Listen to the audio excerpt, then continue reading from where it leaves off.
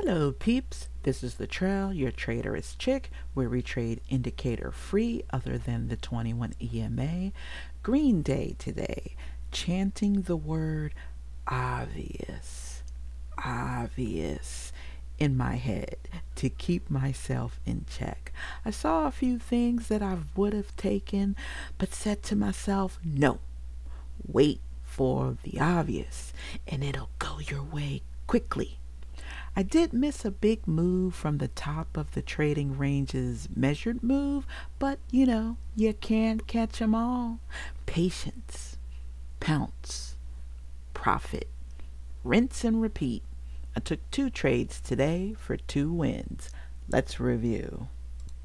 My first trade, I took a lower high to the bottom of the trading range.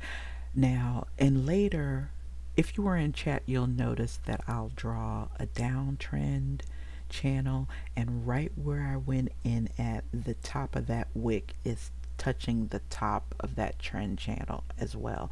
So, you know, I'm trying to remember, yes, we're going sideways, but the overall bias is down.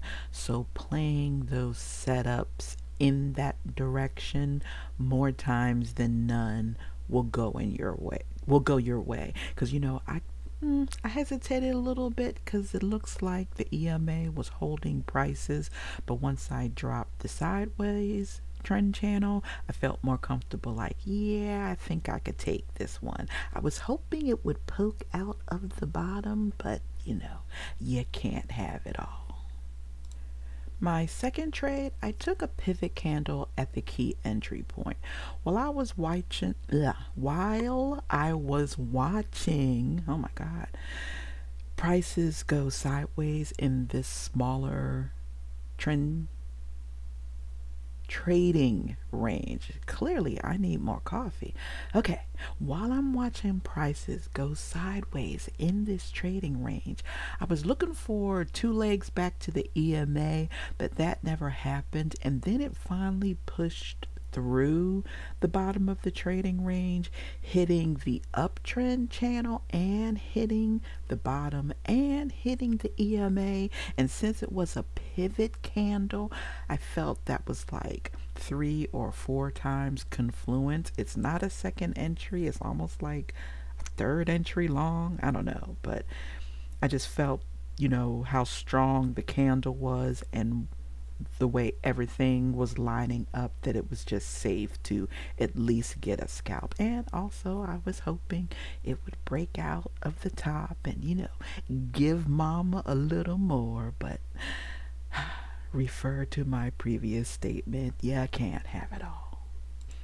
Here's a quick snip of today's performance. So, at this point in the week, since it is a short week, we're just eating away at the red day from yesterday. So, trying to get back on track so we can make the most out of our 19 to 22 trading days so we could have a green month. Hopefully you've enjoyed today's quick little video and if you made it to the end, I appreciate you for watching. Shout out to those who joined me in the live stream this morning. If you missed it, I'll link the video replay here. Be sure to check us out tomorrow, 7.30 a.m. Eastern Standard Time, 9 a.m. on Twitch for the simulcast. And, you know, shout out to all of you who stuck through the craziness that is my ISP. I don't know what's going on, but I think tomorrow I'm going to start stream a half hour early. There'll be nothing to see. It'll probably say offline or something. And I'm just going to let my ISP work through the kinks because clearly it takes about a good 30 minutes before we're smooth sailing. So I don't want you to feel that I started the stream without you. So you won't miss anything. I'm just going to let it do whatever the heck it's doing for those first 30 minutes and then at 7:30 we'll continue on as normal hopefully with no hiccups see you then